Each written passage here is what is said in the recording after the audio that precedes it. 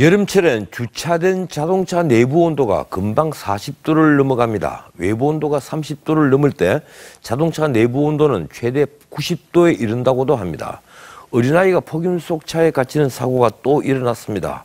다행히 119 구조대가 제때 출동했습니다. 하동훈 기자가 보도합니다. 떼약 배치 자동차를 내리쬐입니다. 외부 기온은 34도. 30분 만에 차 내부 온도가 43도까지 올라갑니다. 초콜릿 과자도 금세 물러집니다. 어제 오후 6시쯤 부산에서 두살 A양이 잠긴 차 안에 갇혔습니다. A양은 이렇게 문이 잠긴 채 뜨겁게 달궈진 차 안에 10분 동안 갇혀 있었습니다.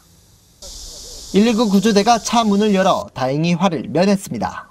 어, 애가 울고 있었고 땀을 좀 흘리고 좀 찢은 상태로 있었습니다. 낮 기온이 35도까지 올랐던 지난 2일 광주에서도 4살 아이가 차에 갇혔다가 20분 만에 구조됐습니다. 폭염 아래 뜨거워진 차 안에 아이가 갇힌 사고는 해외에서도 잇따릅니다. 여름철 차 내부 온도는 40도를 넘기 때문에 아이들에게는 치명적입니다.